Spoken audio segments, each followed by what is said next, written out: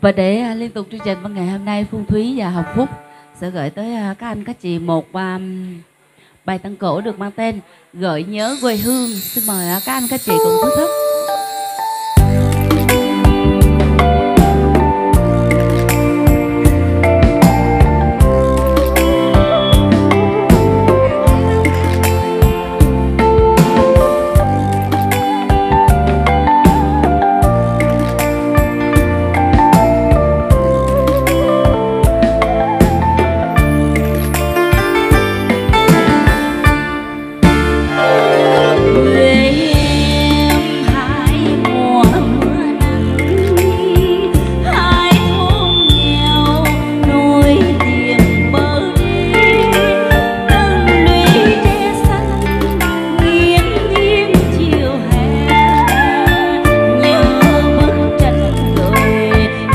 Quê.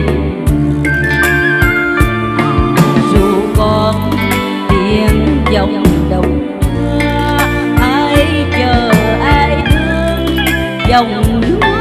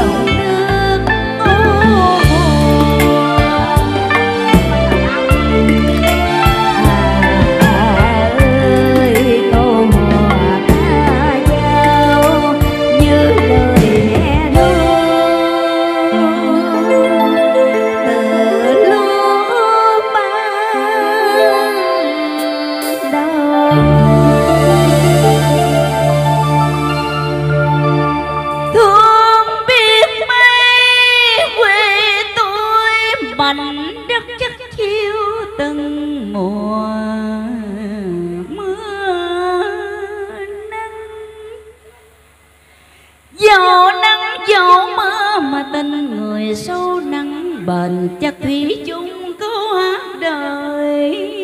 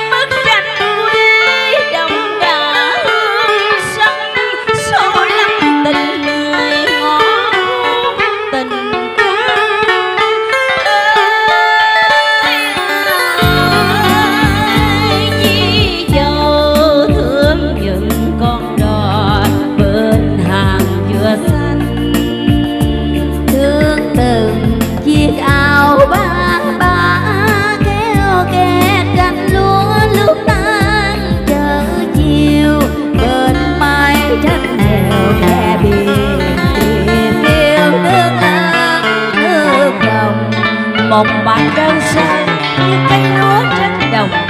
Miền quê ấy tôi yêu, một tình yêu không đôi ông thơ ai cùng một thời nghe tiếng thu hồi đồng đời nhớ